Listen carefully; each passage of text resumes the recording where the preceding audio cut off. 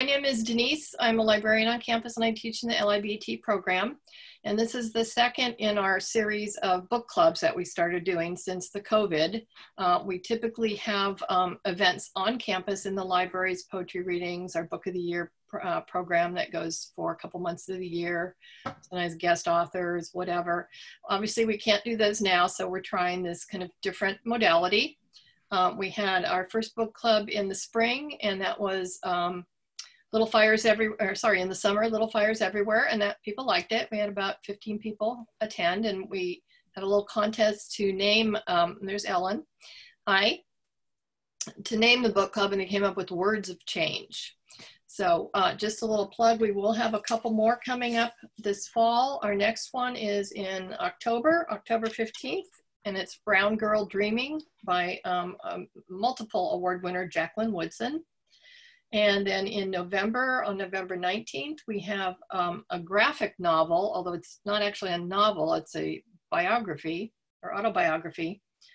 Um, March, Book One by Senator John Lewis and Andrew Aydin. So uh, these are on our website and I'll post that um, to the chat.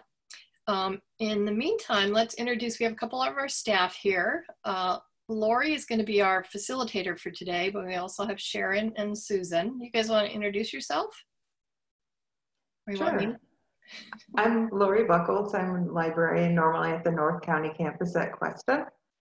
And um, glad to be here. I have a few questions that I devised for us to talk about um, but also we'll kind of try to just let the conversation flow. So we'll try to find a balance of, of structure and just free conversation. And who wants to introduce themselves next? I'll, I'll go ahead. I'm Sharon. I'm a librarian in SLO normally, and um, I'm a facilitator with this, and I'll be hosting the March Book One Book Club Choice discussion. So thanks. Thanks for being here. I'm Susan. I'm a library clerk at the SLO campus and um, just really glad to be here. Love to read. Love to talk about books. Okay, thanks. And so our staff people are going to be watching the chat. If you have questions or something comes up, we'll be watching that while Lori will be uh, leading us. Okay. Shall we go around the room and just um, in quickly introduce yourself, the other folks that are here? And we'll start with Ellen. Hi, I'm Ellen. Um, I'm new to SLO, only four years now, and I enjoy reading. I did not read this book, but I'm very, very interested in it.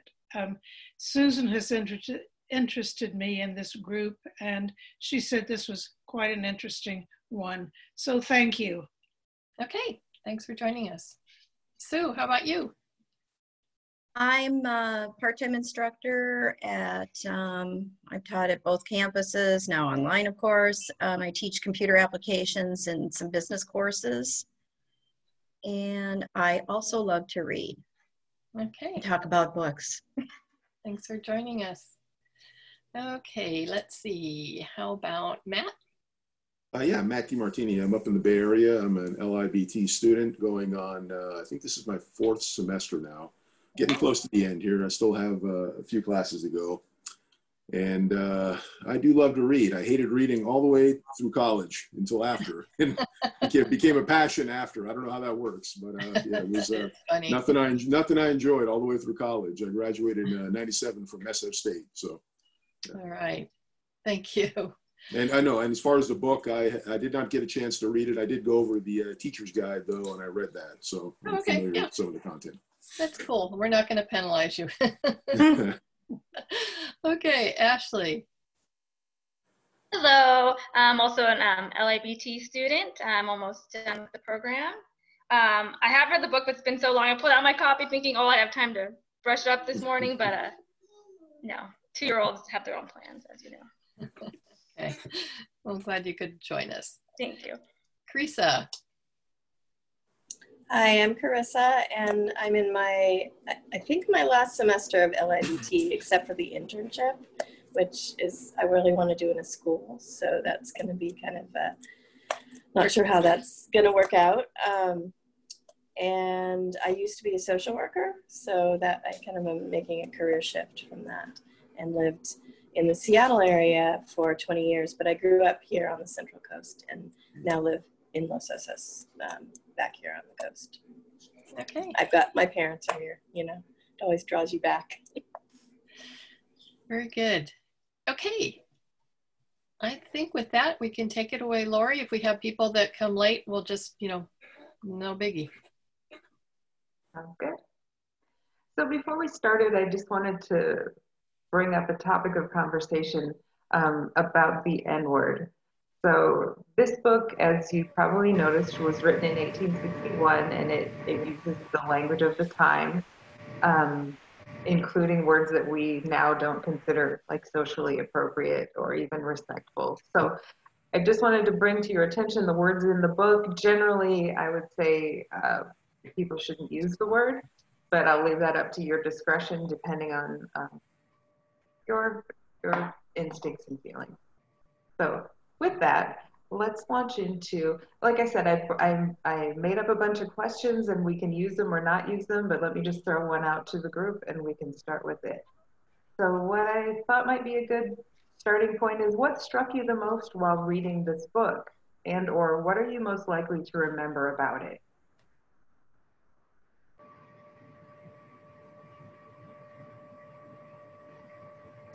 I know I, I was really struck by, I, I think a lot of times about the audience that a book is written for and the role in the, um, really the audience wasn't just Northerners or white Northerners, but white women in the North. And the idea that if they could be outraged enough about the intention of purity on her part that she couldn't achieve in, in slave situations that that would be um, one of the drivers of ending slavery. And it wasn't i guess it wasn't something i had thought about a lot as um, like a piece of log on the fire of abolition. Um, and it, that was a really that was really interesting to me in in general. Um, and also the fact that she had to make all these excuses for why she made all these choices. And I know this is like Victorian, you know, era and it's easy to look back on it through our own lens but um, just the like the pretzel she had to shape herself into in order to make white um, northern women feel like she was respectable like right in the very beginning it even says in the introduction that she's um, can be believed because she's lived for so many years with an esteemed family. And they never even say it's a white family. It's just an assumption that that this family vouches for the kind of character that she has. And i, I don't know that really that really struck me. And uh, i don't know I, it was an incredible narrative in general. You bring up a lot of very interesting themes from the book. Uh, let's see, uh, does anyone want to jump off from, from what Carissa said? I was, uh, I noticed that um, after reading the book for a while, I got that she was of mixed race. She wasn't just totally black or African American, and that uh, her grandmother to her mother, they had a higher standing in the community and amongst the slaves, I think because of the background, because some of the um, white ancestors were, you know, slave owners and so on. And that gave them a certain amount of power and privilege. Now, even with that, they still had a horrible time dealing with the predation of, you know, the women in particular, and that they could be sold at any time their children could be sold off, of course, but the fact that she was able to learn to read and write and that um, she was able to have a little bit easier time as a slave compared and she makes this distinction too you know she a few times she's in these situations and she says i would rather be working on a plantation than have to deal with this master coming after me and trying to you know predator, be a predator on her, you know. And so I, I think that uh, it, it's an in, interesting kind of juxtaposition that she's in that she has some privilege for a slave and is able to then write this narrative later on, having learned to read and write. At the same time, she's still under this horrible situation where, you know, she's not doesn't even have control of her body and has to make these horrible choices. So.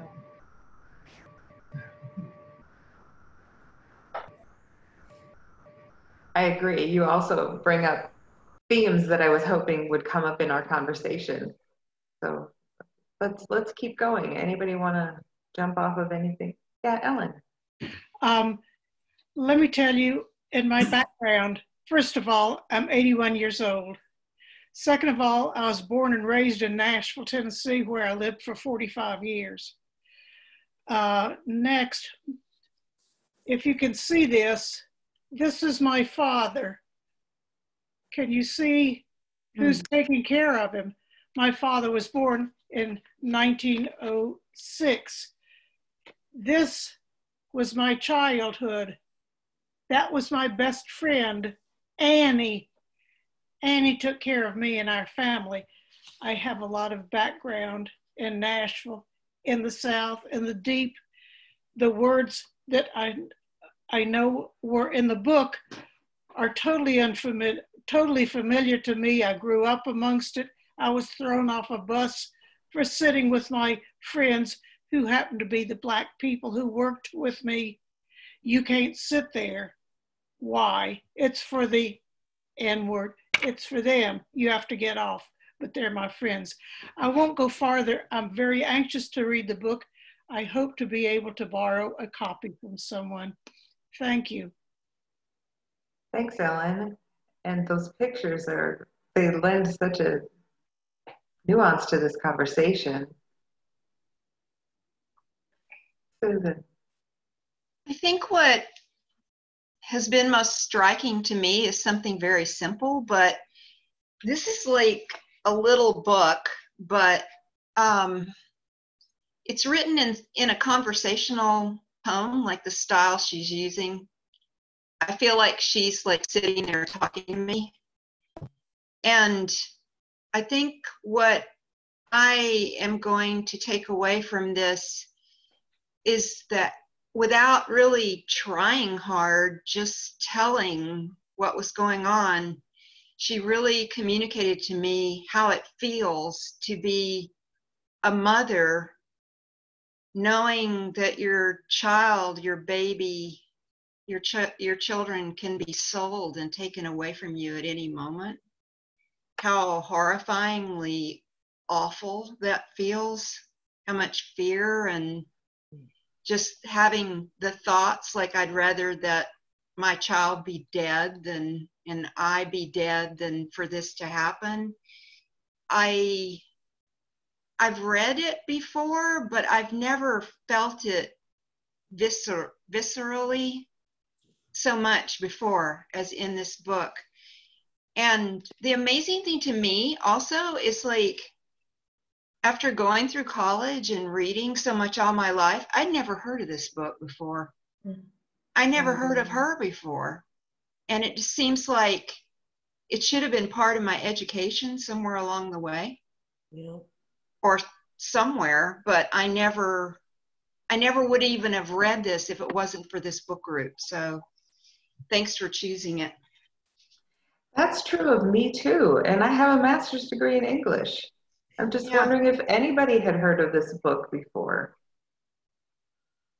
Yeah, it's it's requested by students in different history classes or um, multicultural literature classes or even women's studies. So it, yeah, I've heard of it. I hadn't I'd only read the YA novel version of it a couple years ago.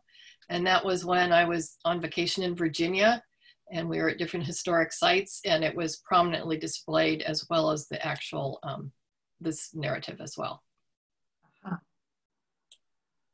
I have to say too, like, um, and Susan, I have to, do we have another Susan or is it just, okay, I thought maybe there were two Susans and a Sue. But anyway, um, I agree with you. That's something I, it was heart wrenching to me. And that's a part of slavery that I just didn't dig deep in and really think about that.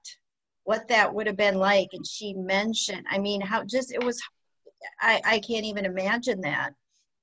And I also want to share and say, unlike Ellen, um, I grew up in the Midwest in Wisconsin.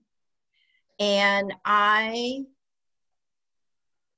I lived in a very white um, there were a lot of German Im- immigrants, but I, until I went to college, I did not see any diversity whatsoever. And so I, and I don't even remember in school, it's like we would hear about slavery, but you just, it was just taught in the sense that they were people that, you know, had to work for other people, but you didn't know the really deep, dark, awful history of it the same way we didn't know about the we weren't really taught about the native americans. The native americans when we would play cowboys and indians the the the native americans the indians were the bad guys and the cowboys were the good guys. You know that i lived in a very whitewashed area and i'm so thankful that i didn't that i'm open. I i that i that I can read something like this and be horrified and disgusted that one that people can treat other people like that and regard other people like that just because of the color of their skin. I I still don't understand it to this day and it's going on right now too. And even in our country, we've had children ripped away, separated from their parents that are seeking asylum. And so it's still, it's like, when is this, when is this going to end? That people are treated differently because of where they come from or the color of their skin. I just, I don't understand it. So I like to, you know, I think we tend to if it doesn't directly affect us, we tend to forget. Not forget, but we just don't think about it. We just don't think about it. And we should, and we should be ashamed and we should be moved to then do something about it. Well said. Ellen? Well, very quickly, let me tell you, yes, I did grow up in the South. That's my father was 1906 born and my mother in 1908. However, even though I was only born in 1939, I was really privileged. Um, I still count among my close friends an architect in Phoenix, where I lived for uh, for 34 years. Um, I was privileged to be um, very, very well exposed and friends with people at Fisk University in Nashville. Uh, my father not only taught, but took me with him to visit patients at Meharry Hospital, which was a teaching hospital started by, um, I believe, a Baptist, a white Baptist group back just after the Civil War.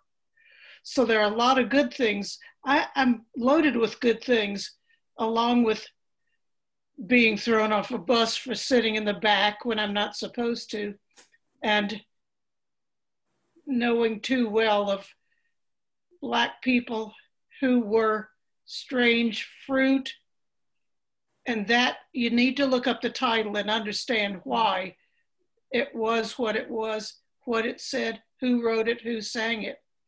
Um, I still am absolutely devastated with what's going on. The fact that we're not all individuals. We weren't taught in schools. It was all, excuse me, all blacked out. So much truth has been abolished, abandoned, denied, whether it's race, religion, sex, gender, whatever but it's important to be exposed to it. That's why it's important that I read this book too, among others. Yeah, I think, oh, go ahead, Denise. I was just going to say, I was really impressed throughout the book with her resilience. Mm. I mean, we, and I shared this with Lori and Susan the other day too. I mean, here right now, we're in the COVID thing. We're um, feeling tedious and locked in and worried and, and sequestered. And then here, this woman is in SEP for seven years. She's in this Mhm. little like coffin like existence in this, you know, crawl space and existing that way. And, you know, I, I feel kind of ashamed at the level that I've complained about our existence now in comparison to that. And not only that, she she meets each of her many challenges with that same um, resilience and um, you know ability to keep trying over and over. I mean that to me is amazing. So. I just put a link in the chat to the book Strange Fruit that Ellen just mentioned. It's just a Wikipedia blurb about the book, but something that you could maybe look up more about later if you're interested. Thank you. Thanks, Sharon. Yeah, I, maybe let's let's go off of resilience. And what do we what do you attribute her resilience to? What do you think kept her going and kept her sane and sound through those seven years? I think it was, uh, she was, you know, she had that grandmother. I mean, she had her parents around her, but in particular, the grandmother was sort of the matriarch. And her, the opinion of the grandmother and her standing in the community and her guidance really shaped her life, or at least that's the way it seemed to me from the book. And she always held herself, seemed to hold herself to that standard. And she saw her grandmother have to mitigate circumstances and persevere through that racial divide and hold herself high. And I think she was trying, uh, attempting to do the same thing as best she could. So, and I think, and, and, and the, the thought of eventually having freedom, you know, that was really important to her and kept her going.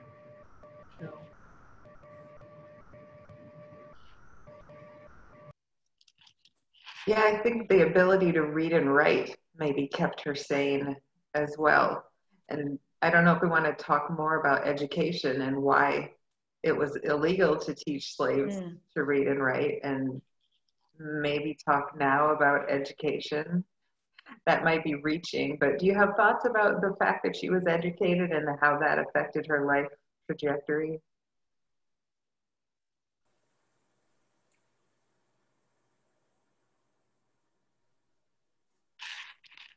I, well, I'll, I'll go ahead. I, I'm going twice in a row, but, you know, for a while there, you know, when Nat Turner had his um, upright, the uprising, so they were doing those raids and they were looking for anything written by, by slaves because this was a way of, you know, uh, knowledge is power. And uh, this was a way of communicating. So the, the slaves that had the ability to read and write and could communicate and pass notes and words. Plus, there were many, many white Southerners who were illiterate. And that was a contention uh, culturally that how could these, you know, African American, these slaves, have more knowledge than we do? They're supposed to be less than we are. And so there was a, you know, a, a, just in the raids that they were doing around that time when the militias came in and were you know trying to really exert their power and they were looking for anything written and and, and if they had uh, material goods that were greater than what uh, these folks had at home. There was surprise and shock and anger and then they often you know pilfered from that too. So there is the um, the planter class, you know, could could afford to have uh, slaves and people doing the work for them, but there was a large underclass, you know, often referred to as crackers or the white, you know, working folks who were on the edge, just above slavery, and they were some of the, the hardest on slaves and, um, you know, escaped slaves and so on. So I think education for slaves was something they had to keep hidden as best they could because it was power. Carissa? Um, I, I think the education part is sort of both a lock, um, not a lock, a key and a tool. Like it was a key for her to understand um, what might be more possible in life um, as opposed to having that narrow view. Um, and also clearly a tool to express herself. But the thing that really struck me around the resilience is what I know from having worked with children. Um, I was a school social worker and the resilience and developmental stage for her to go through to the age of six to not even be aware of her situation. Um, there's a, a, a, way in which, especially young girls, are developmentally get a sense of themselves between six to eight is sort of that that window when it starts to close, and then to not really be in a situation where she was truly in um, extreme danger um, until 12 adolescence is also this shifting space where um, like I keep thinking of like that the term like often the idea of an uppity black like the, uh, the, that they are they're taking more space than they're allowed.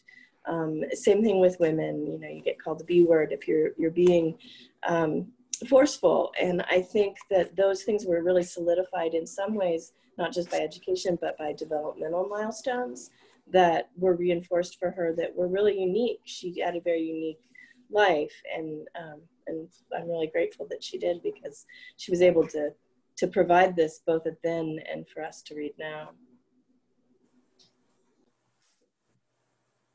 Really interesting insights. Yeah, Susan. Oh, you're on mute. Did you want to speak first? Because I can wait. No, no, no. Um, I guess this book brought up for me that psychologically, I think there's a connection between reading and the desire to be free. I'd never really thought about that before, but in her case, it had to do with slavery and being considered less than human, but somehow being able to read, I think, kept the desire to be free alive.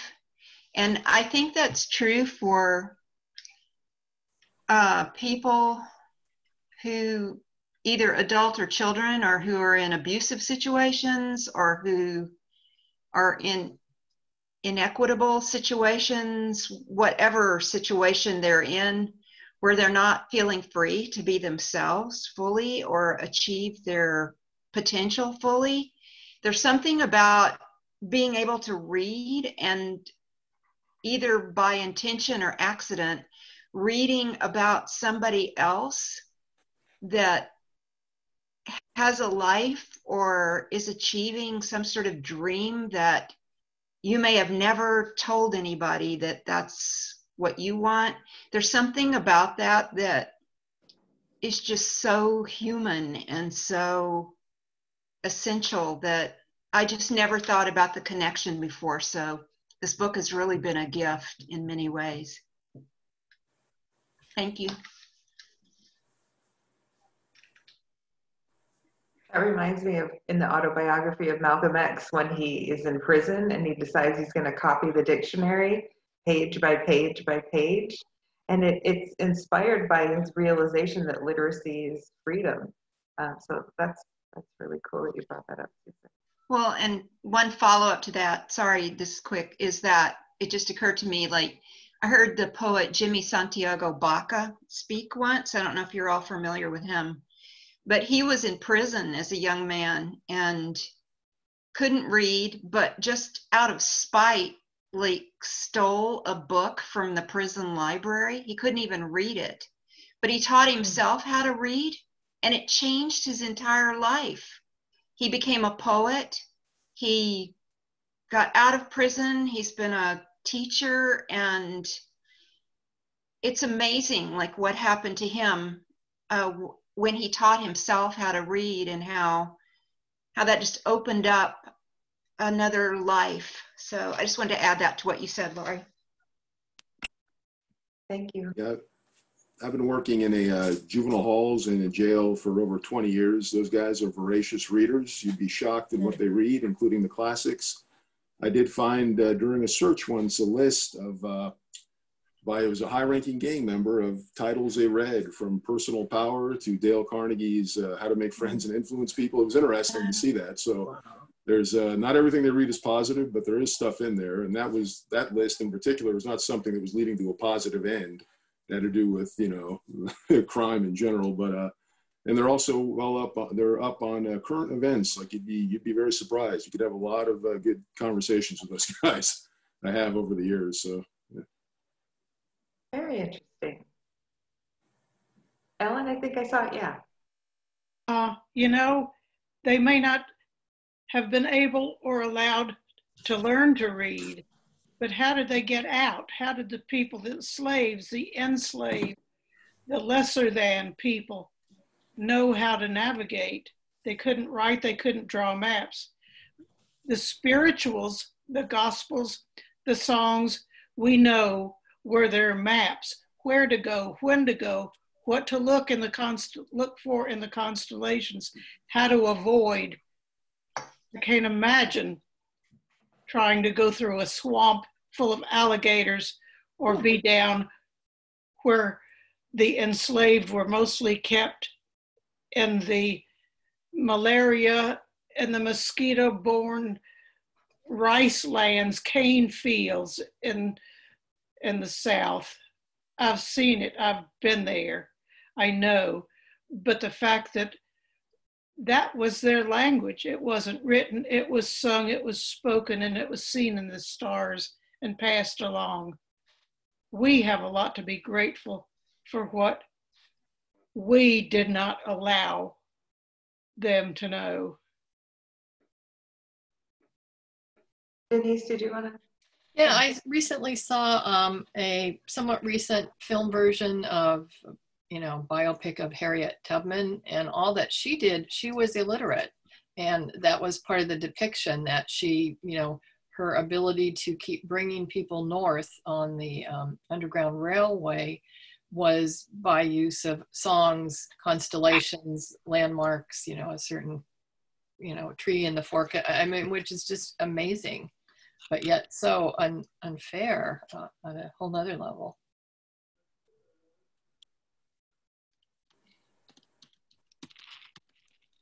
Well, I, I am interested in a particular question, so I'm just going to kind of abruptly uh, segue and see what you guys think of it. Uh, I have to confess that I thought during the time period that a master would just rape a, a woman that he wanted to have sex with. I, I was very surprised by the nuances of the Dr. Flint and Linda quote unquote relationship and so I'm just curious what you thought. Like, why was he so obsessed with her? What what was what was the nature of what he thought was happening between them? What do you what do you make of that?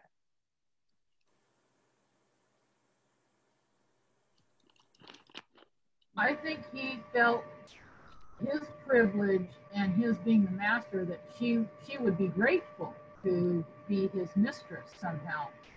I think her having the grandmother she did who was in the community and and knew uh, from what she had written uh, in the book uh, neighbors and people and planters they all knew each other and they knew what was going on.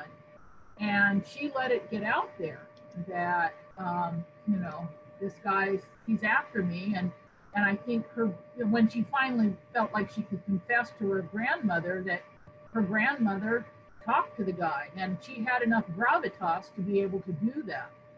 I think she, if she didn't have her grandmother, she would have been a lot more vulnerable, a lot, I mean, she would have, it would have ended differently. So, yeah.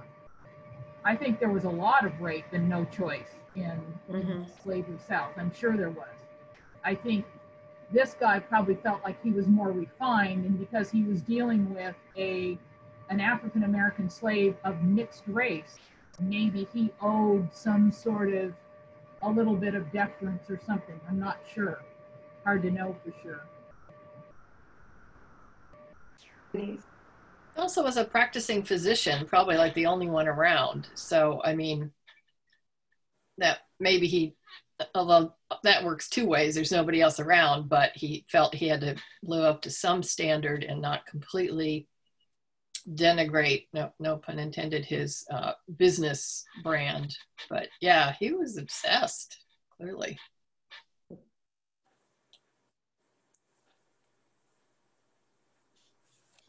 you know, um, talking again about resilience, I think for um, Harriet, that she was able to be so resilient because she was determined to save her children because she was afraid if she she probably could have escaped and gone north but she couldn't leave her children. But she was also re- her her fierce um, re, uh, desire to not give in to Mr. Flint and not to let him do whatever he wanted to do with her was she was determined that she wasn't going to bend to that and she was going to do whatever she needed to do in order for that not to happen and you know and plus the love of her children because she was worried how he might retaliate against her through her children um, that was what i mean to the point of as we mentioned before staying in this small small area for seven years um, uh, makes what we're going through right now we still have so much freedom, but she hardly had any freedom. And then she was continuously worrying not so much about herself, though she was suffering physically and mentally, but she was worrying about the people outside. Susan? read someplace, but I can't remember where. So maybe one of you read it too and will remember. But I thought that Dr. Flint perhaps not raping her like i i still am not quite sure but that i read someplace it had to do with the other man because she decided to have a relationship with the uh, i can't remember what his name is either fictionally or in reality but she just the father of her children she decided to have a relationship with him because he was actually a higher social status or had more power politically. He became a, didn't he become a congressman or Yes. something?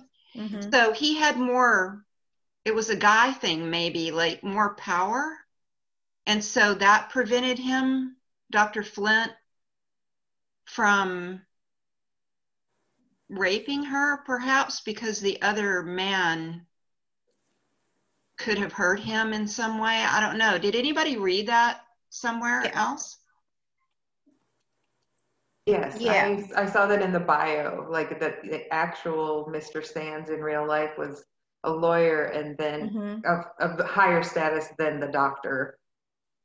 So she was hoping she was sort of under his protection. Was somebody else chiming in on that? Yeah, I, I think it, it mentioned it in the story too, because at first she had fallen in love with a black man Mhm. and her mass, Dr. Flint told her, if you pursue that, I can't remember exactly what he said, but he for forbid her because I think he threatened her with something again. And and so then she thought that she would get together with this white white man who and have children with him because she thought that would safeguard put safeguard her so to speak against her um, from her master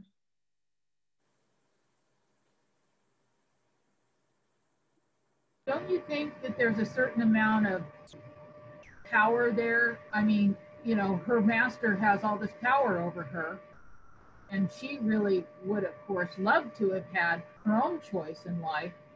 And so she made this choice, and in hoping that the, the, the father of her children, the lover, could, you know, protect her. But I think she was tired of being so pressured and, and feeling like she, you know, was backed into a corner. And by then she, she felt like, you know, I, I can't stand you, you know, to the master. I'm going to actually, this is the lesser of two evils of the way to go. Mm-hmm. And I'm grabbing a certain amount of power because this is my choice. That's the way I kind of saw it.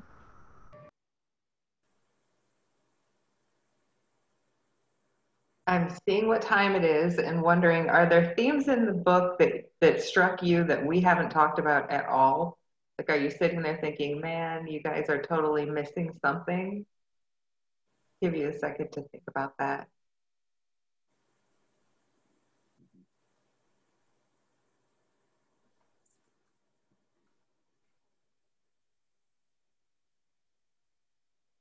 If not, I'll, I'll throw out another one of my mm. questions.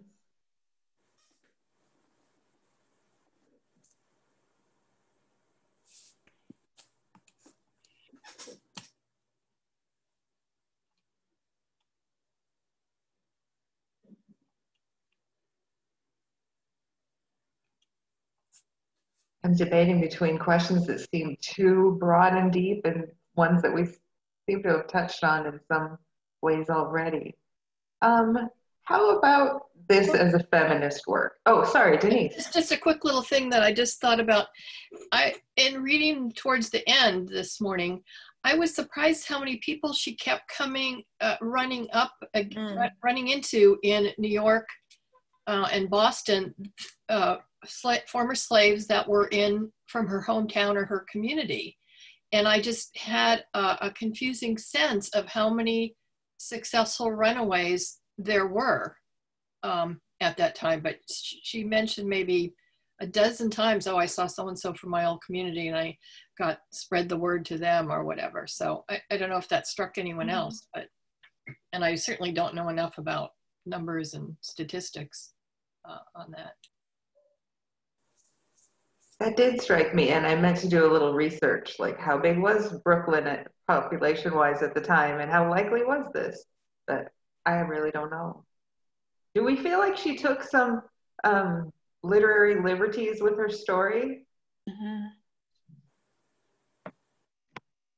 If so, do you approve of her literary choices, or were there some that you would take issue with?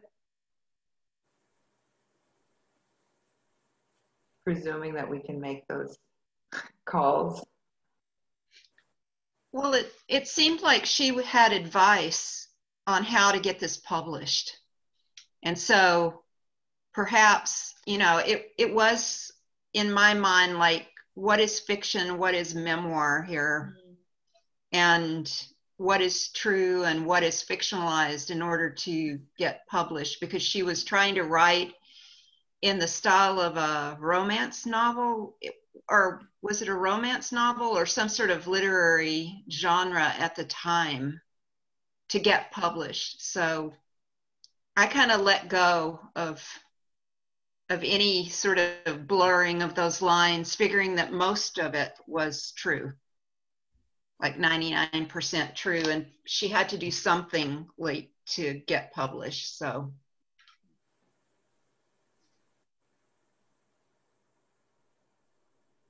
Ellen. I'd like to ask a question of Matt. Would a book like this, in your in your line of work, mm-hmm. working with incarcerated, primarily men, I'm assuming, would this book be allowed to be distributed, read, or discussed? Uh, yeah, the, the way it works, there's, you know, other than something that's like pornographic or uh, that's the main thing we'll keep out of there. Everything else is fair game. Uh, their families can send them stuff from Amazon. We do have a library in the in the uh, basement. It's uh, not a traditional library. It's donated books. They cluster them according to authors or subjects. So it's it's loosely cataloged that way, but uh, it runs a gamut of stuff they can read, and then they can request down there whatever their family send them. Something like this, I've seen uh, a lot a lot of stuff in the jail over that you might consider more radical stuff. I'm not saying this is radical. I'm just saying, yeah, this book would be no problem in the jail at all. Yeah. It wouldn't be anticipated that violence could erupt from the black white issues that are so explosive today? That's that's really why I was wondering. Uh, I, from my experience, uh, you know, I, I, work a facility where I'm literally in the room with everybody. We're not behind bars or walls, or I'm literally walking around with people. So, uh, hence, there's a lot of interaction that goes on there. People are kind of surprised when they see those types of setups. They're actually pretty effective in preventing problems. But yeah, I, I don't see something like this causing an issue. It would be something that, you know, realistically, anybody in, in a housing unit could read, regardless of race. You know, they're so bored looking for stuff to do. I'm sure they'd read it. A few guys probably wouldn't like it. In general, it would be probably entertaining to those willing to read it. So it could make for very good discussions. It could, yeah, it could. It's uh, it's uh, like I said, I've had a lot of good talks with those guys over the years, and you'd be surprised. I consider them, in many cases, far more informed on current events because they're newspapers, watching the news. I mean, time to talk. It's uh, you'd be surprised. You know, I'm not saying there's a high level of education there, but uh, from my experience, uh, it's it's been pretty interesting the stuff I've learned and and heard in, the, in that line of work, which is uh, it's it's coming to a close here in a few more years. I'm almost done, but uh, yeah, it's been it's been an experience from that aspect. But no, this book would be fine in in that environment for sure. Yeah. Thank you.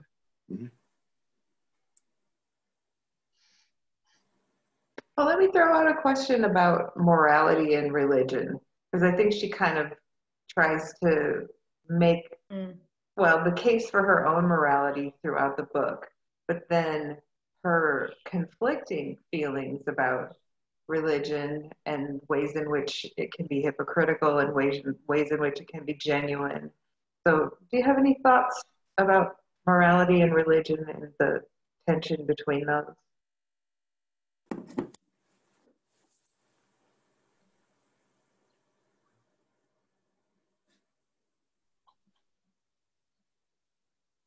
I think she touches on that um, in the book to a certain degree. And I think she noted that there were two standards.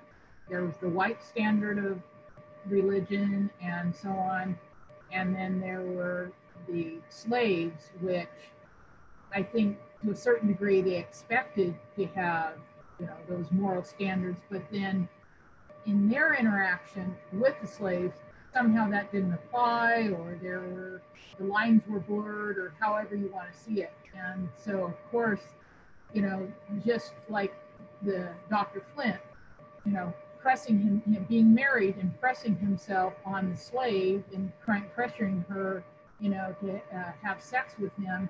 And she saw it as morally wrong, but somehow he saw it as okay because she was his property. But really, that was an excuse for hypocrisy.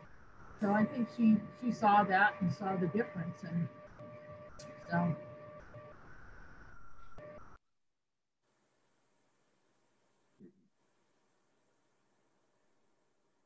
Other thoughts on morality in the book? Who's the most moral character? Who's the least? What does morality actually mean in the context of slavery? I don't have a, a, a, specific answer to that, but one of the quotes that I really, in the very beginning, that really struck me is um, she quotes, Thou shalt love thy neighbor mm. as thyself. And then she says, But I was her slave, and I suppose she did not recognize me as her neighbor. And so I thought, from a religious perspective, like that, it was sort of this idea that, you know, purity or morality, like it didn't apply to slaves because they weren't of the same fabric, um, you know, literally not human in many ways.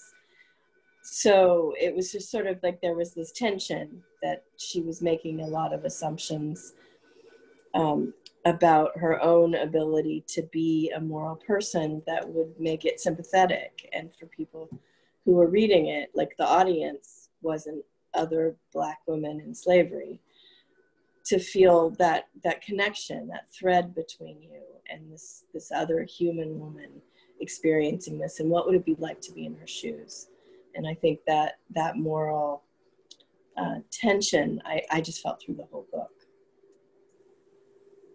Yeah, she was really, it was very difficult for her to come to terms with the decision that she had made to have two children by uh, a man. And I don't think she ever really came to terms with that. But that's the de- decision she felt she had to make given her circumstances.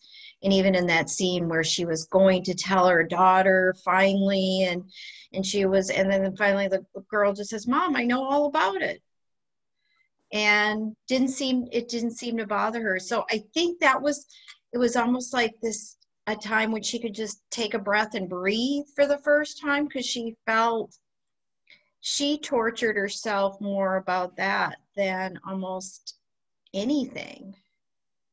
Um, and it it I, I I just can't imagine living where she mentioned that a lot of times that you know these decisions that we make we make them because of our circumstances. And if they meaning white people or non-slaves if they could only understand what it felt to be in that position then they would feel they would feel, she hoped that they would feel differently too. But she couldn't stop punishing herself for that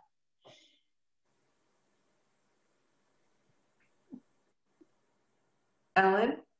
The more I listen, the more anxious I am to read this book because the word slave has been used to to um, express a black person who came in a ship having been sold by their own countrymen much of the times whereas the white woman the white wife the mm. a wife was nothing less than enslaved. Those are two words slave and enslaved. How would a wife feel? She was enslaved. She was a possession. She didn't want to have children. The only way was for her husband to have relations with his slaves. She had no choice. She would lose everything but that's why i'm even more anxious to read this book to hear how everyone views it, thinks of it, and what was thought then. Yes, the author makes some very, to me, startling claims about what slavery did to the morality of everyone, including the wives and the daughters of the slaveholders. Um, she's making the argument that slavery was the enemy of morality, like for everyone. It goes back in history, back in the Bible and the Torah.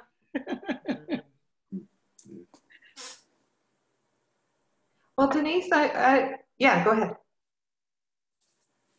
Unmute. Um, I think I was impressed by her continual depiction of Mrs. Flint, who was mm. pretty cruel. Uh, this is Dr. Flint, the master's wife, so the mistress. And um, as Ellen was saying, um, and Lori too, she makes the point that the wives and daughters of the slave masters, slaveholders, slave owners were also quite um, affected because they would enter into a marriage thinking that, oh, I've you know, this great plantation and we have all these slaves and I have this new husband and I have all this fine china and, you know, linens. And then perhaps not getting it that part of the, the man's domain was to sleep with any of the slaves, have more uh, um, mixed race children who were a valued economic product, not really a human being so much. And then the love of the wife for the slave master was really, you know, spoiled, tainted, and then to, to look at your daughter and say, well, she's going to marry the other guy down the road and same thing's going to happen to her. So there's a lot of emphasis on that piece, uh, which I wasn't really thinking about that so much. I think that's a good point. And I remember reading this was Dr. Flint's second wife, and she was 16 when uh, he married her. And so she, you know, was not the most mature individual, and he was old enough to be her father. So you can only imagine she comes into that situation and then finds out he's pursuing, you know, slaves, what might ensue. And you could, to be the, you know, the author and be caught between the master and the master's wife. What a horrible place to be. No wonder she felt like she wished she was dead sometimes. I mean, you know, what an awful place to be. And her sense of morality, again, I think came from her grandmother, and she was always trying to hold herself to that high standard. And supposedly, the wives and the, you know, genteel Southerners were doing the same thing when we know it wasn't so much, it, you know, in, as a front, you know, and out in the community, but behind the doors is another situation.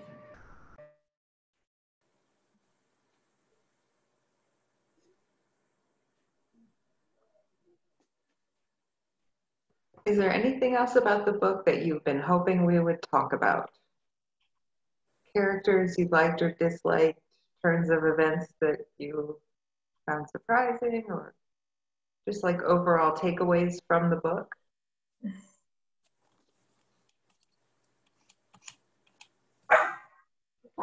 Oops. Not hearing any. Denise, can I turn it back over to you? Tina, were you trying to say something there? No, I was trying to mute because my dog started barking. I'm having animal problems today. So well, at least he's not barfing. I thought that's what you said. No, that's my cat that does that. okay, well. um, yeah, the last time we did this book group, we had it for an hour, and people said we needed more uh, free flowing um, time, so we extended it. So I think I would just follow up with Lori's comment. This is a good time to kind of pull in anything we didn't talk about. Um, I know I didn't like the, the part where she was hiding in the dismal swamp or the snaky mm. swamp and got bit by a poisonous snake. Oh, that got me going. And that was like one of the least of her, you know, worries. Um, but yeah, feel free to pipe up. And even if you haven't read the book, it's fine. If you want to say something, that's cool. But let's take a minute to kind of just free flow uh, I'll say just having read the, uh, hold on, what's it called here? The uh, teacher's guide uh, and just going through that, it was to me kind of like a cliff note, but it definitely adds a uh, personal, a personal perspective on this history of that period where I know Sue was talking about earlier. Let's say we learn the history of slavery in school and it's, uh, it's impersonal. It's just a system. You don't really know that people were involved in it and their experiences, you know, which as we can see, the dynamics are actually pretty, uh, from what I'm gathering, because like I said, I haven't read it, is, is pretty complicated for, you know, both slave, non-slave, mixed race, and all these other dynamics that get worked into this. But uh, like I said, it's it's an inter- it would be an interesting uh, first-person perspective. You know, that's uh, that's what I got from the thing I was able to read prior to this. So. Mm-hmm. Well, and we do try to make these um, LibGuides or reading guides to go with the discussion so that, say, you didn't have a chance to read it, or maybe you read it and forgot it, or you want to go and do it later. And actually, some um, of the instructors on our campus use these in class um, when they are reading a, a certain book, um, required reading. So, yeah, if you have ideas for that kind of thing, let us know. You know, one of the things in listening to the conversation and having started the book but not finished it, what struck me about her was her voice and how strong and resilient that voice was throughout the book and how she never gave up. I mean, there was sounds like I haven't finished it. That that there were so many instances when she could have given up. Mm. She didn't, and she just she had that, and I attribute that from what many things Julie has said that her grandmother was such a, a force in her life that she just didn't want to disappoint her grandmother, even though her grandmother may not have been there, but her grand she didn't want to disappoint her and what her grandmother had done for her and given up for her and allowed her to have that foundation and become who she is. And so I, I her voice to me just sounds so resilient and hopeful in spite of everything that happened. And so that's that's something that I've gleaned from the conversation and stuff. I think Carissa's point too about early childhood development and the fact that she had those first 12 years of relative like comfort and support made a huge difference in her life trajectory. I also appreciated when she would when she would mention, and she did this numerous times throughout the book, the kindness and compassion that was extended to her by white people that she met along the way that helped her, like Mrs. Bruce or the um, captain on one of the ships that she was on. And it, you could almost feel the gratitude that she had because of the kindness that that family or those people extended to her. And here they were strangers but they were willing. Probably i would imagine back then they they would would have been in deep deep trouble if they would have if it was known what they had done. And um so anyway i i thought that that she had she could have had a lot of reasons to be very bitter but yet when she still did not fail to recognize and give credit to those that helped her along the way. And she was forever grateful for that. And that's something i think we all need to keep in mind in our own lives. So. I also think that uh, she knew that it could have been a lot worse, that uh, the other slaves that were working on the plantations, that whose lives were shortened just with the, the brutal conditions that they lived in. And there was always that threat of being sold south and being, you know, put in a, a more difficult situation. And she knew that even though she had it difficult, you know, in her own life, just trying trying to get free, trying to keep her children if possible, that kind of thing, that other people had it even worse. You know, other slaves had it even worse. And so and she does make that point, I think, a few times in the book. Mm-hmm. Um, the punishments and uh, the way that they were treated.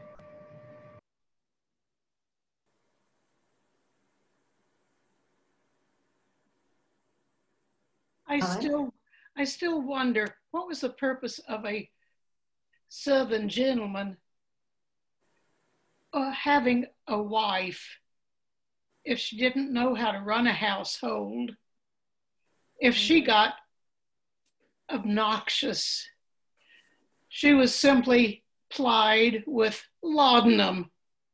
She was made into a vegetable. A slave, on the other hand, was abused, punished, um, sent south. There was, she was an animate object that could be punished, whereas a wife could not. Wow. What a position. I'm, I think, I mean, I think that a wife could be punished. Um, I think the wife is there to have sire your children to have your your next of kin and then a spare.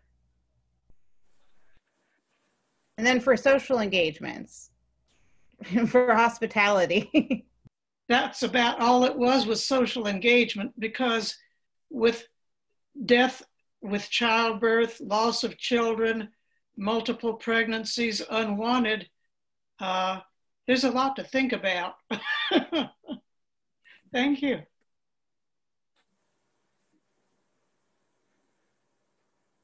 Well, I had one last pretty broad question. We'll see. We'll see what you make of it. So, how do themes in the book connect to current social issues in the Mhm. United States?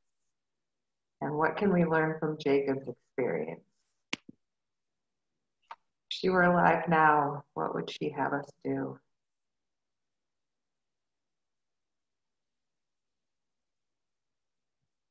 Um, dismantle our caste system potentially.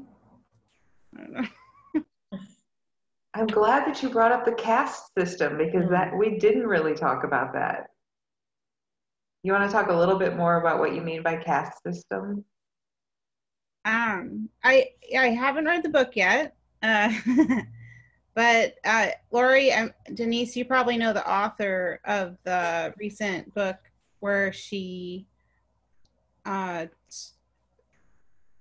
sort of illustrates and breaks down the caste system of race within the United States, and and the history. She uncovered the whole history of it and how it was used as a model for the for the Nazis in Germany, um, including like you know them traveling here to see it in action with with our country, and then us traveling there to teach them how to you know use our system of racism to develop their own caste system and and uh, it's something that we don't really see. And so you you know right now we tend to like oh you know like i can see that horrible statue. I can you know this this college has this name you know.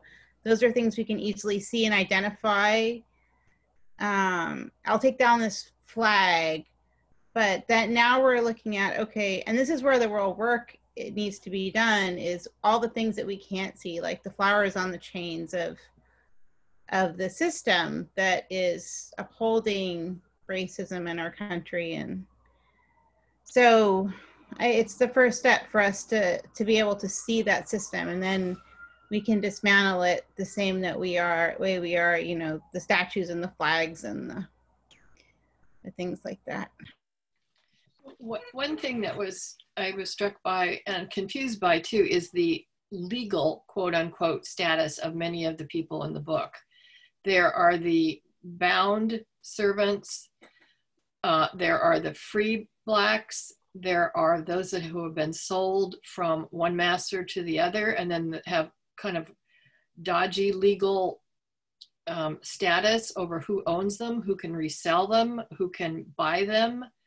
Um, those that have escaped but have, have not had their freedom bought or are not legally free. Like, for example, the grandmother was a free black woman, and I can't remember how that came about, but that certainly is a part of the structure of the caste system, just a, a beginning at least. Yeah, it was I- fascinating because the grandmother made her own money and even loaned money mm. to the slave owner. Like, weird. And Ellen, I saw your hand. I was, I've been perplexed for a long time. What is the use of the word African American? How long are we going to use that to explain a person who is born in this country, who is an American, or who has been naturalized? Why do we continue to say African American? Is it just me? Am I missing something?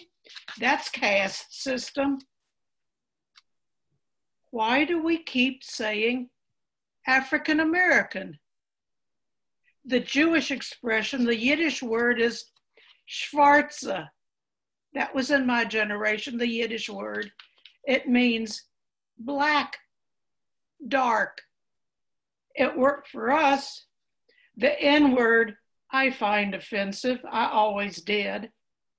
But why do we continue to say African American, though you're three generations born in this country? Help me, someone. Elizabeth? I, I from what I from what I am listening to, um, the trend is you're right, moving away from the term African American because a lot of people don't actually fit within that term. You know, like they come from, you know, different parts of the world that are not Africa, and yet they are identified and self-identify as Black. And so, I think that the two terms that I hear being used now are like the one that that you were saying, uh, like Schwarza, which is my name actually, and uh, and well, like black, and then uh, also you know people of color, and uh, also speaking to people's like nationalities, if we if we know it, you know, um, if that's applicable, if we're speaking about a specific region. I was fortunate to have an African American man who was one of my professors um, in the School of Education in Wisconsin, and we had this conversation. And I, I personally just try to defer to what a person prefers to be called. And he said, African American conveys a level of respect that I don't feel from the word black, for example. Uh, but that could have been just his perspective. And he told us as students we were welcome to use black, people of color, African American sort of interchangeably.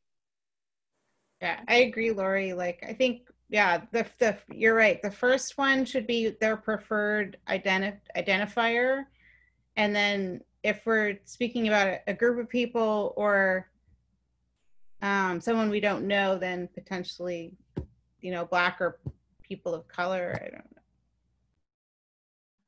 I'm sure things will change. Things will always be changing.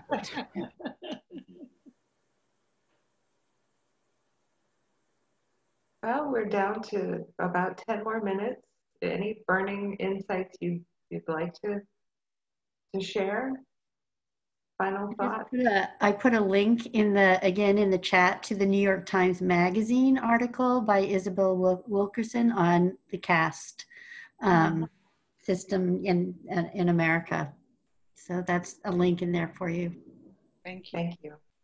You know, speaking of caste, I couldn't help but feel, and that was mentioned several times in the book, how the the fate of the children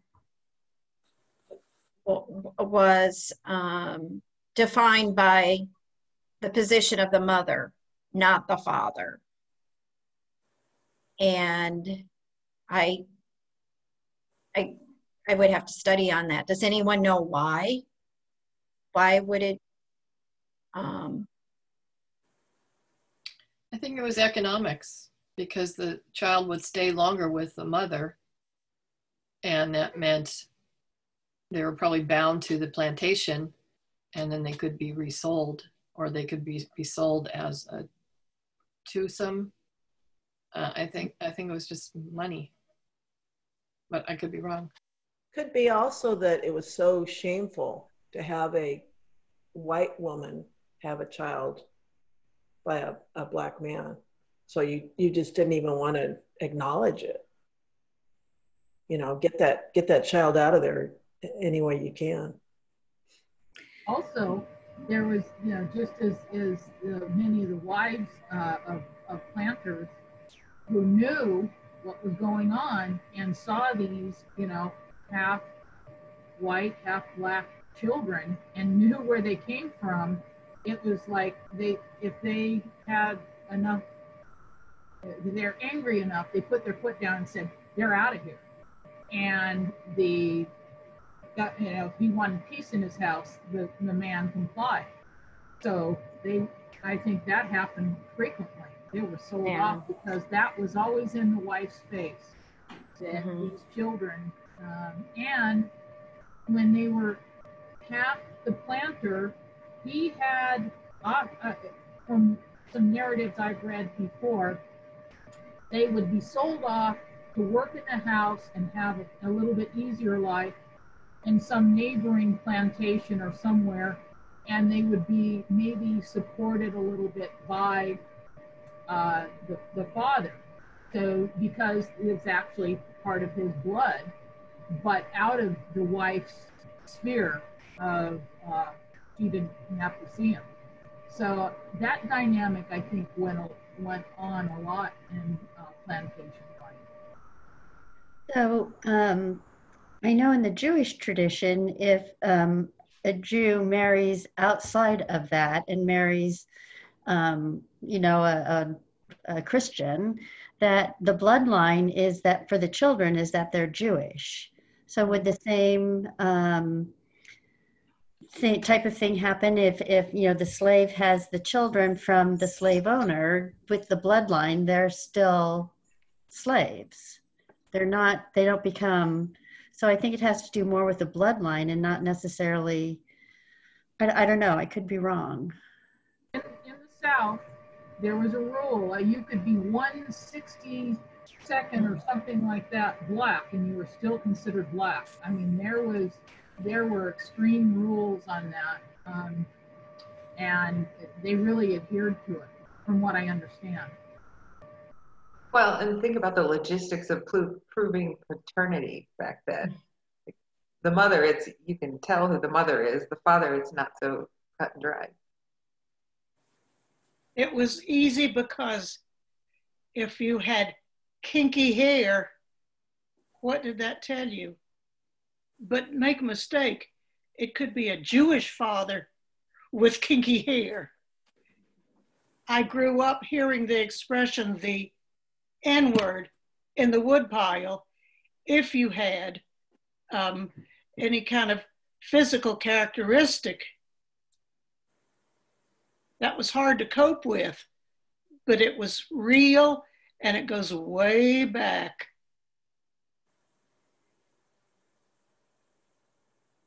This has been very interesting. Thank you. Thank you too, Ellen. I agree. This has been a really fascinating conversation.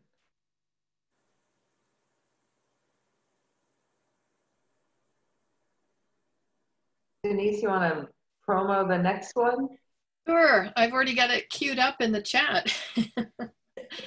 we do have our next one coming up and that's the Brown Girl Dreaming. It's a um, autobiography in verse, and this woman has won all kinds of prizes: National Book Award, um, the um, Newbery Award. It's kind of a YA crossover book, which means it, it's written for uh, two audiences and at once, uh, young adults as well as adults. Um, we do not have access to a free um, digital copy as we did for this one, but we do have access to a couple um, ebooks and we don't have the guide up for that yet. That will come next week, but it'll be a similar kind of reading guide, cliff notes, expanded resources. So we hope that you will join us for that one. Put it on your calendar.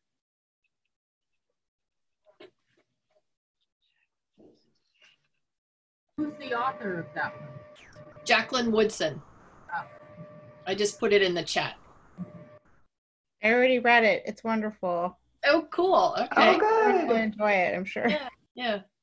And, and just as a summary, she is um, she is uh, maybe in her mid 50s now, and this is her um, take on growing up in North Carolina in the 60s and 70s. So as she's growing up, um, segregation is still very much in place and she's witnessing some of the um, major civil rights events that are happening.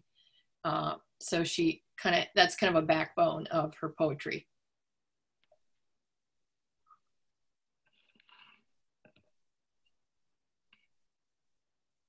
Okay, well, what do you think, Lori? Shall we send everyone off? I think so. Thank you, everybody. Hope to Thank see you, you. again next month. Thanks so Thank much. you for leading it, Lori. Oh, of course. Yes, thank you. Great job. Okay, we appreciate you guys all coming out. Take care. Thank you. Be well. Be You well. too. Bye. Bye-bye.